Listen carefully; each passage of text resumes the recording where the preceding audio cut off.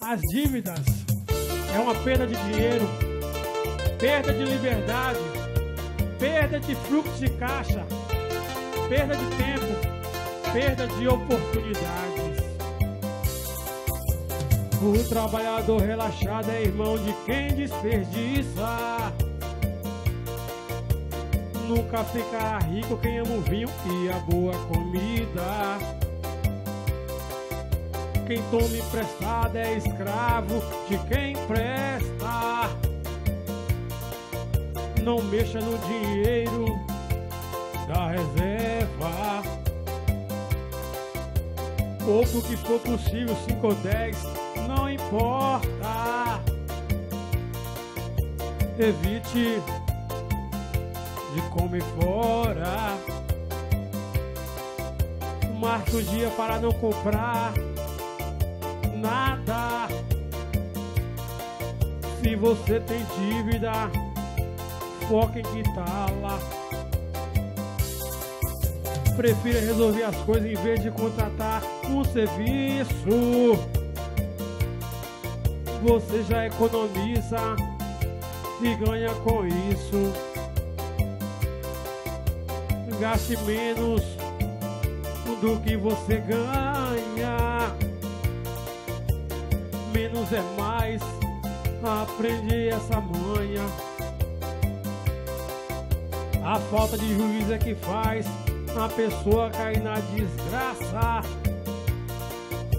Aprenda a notar tudo que você gasta. Não tenha vergonha de economizar centavos. Todo dinheiro é dinheiro, ainda bem desnecessários. Comprar bem com dívida é um bem que não serve pra nada. Estar endividado é realmente de uma vida desorganizada. Não dê ouvido às vozes da mente. Precisamos poupar urgente. Anote o que sai e o que entra. Crie uma reserva de emergência. Evite fazer investimento. A pobreza é frutos do nosso comportamento. Não corte gastos com a saúde. Alimente-se bem e apague as luzes. Fique de olho nos pequenos gastos. É impossível ganhar tempo se você não for organizado. Respeite as leis de trânsito.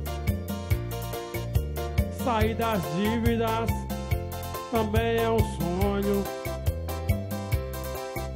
Não gaste dinheiro sem antes pensar. Invista na poupança. Não querer e desejar nada dos outros. Isso é coisa de tolos. Poupar é mais importante do que investir.